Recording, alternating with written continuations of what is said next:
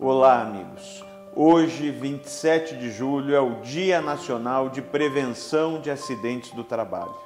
Uma data longe de ser comemorativa, deve servir para lembrar a todos da importância do fortalecimento da inspeção do trabalho no Brasil. Os dados mais recentes são alarmantes e mostram o tamanho do desafio dos auditores fiscais do trabalho. Só no último ano, em média, um brasileiro morreu a cada 3 horas e 47 minutos em razão de acidentes no local de trabalho. Em 2022 foram registrados mais de 612 mil casos de acidentes laborais no país, com um total de 7 mortes por dia.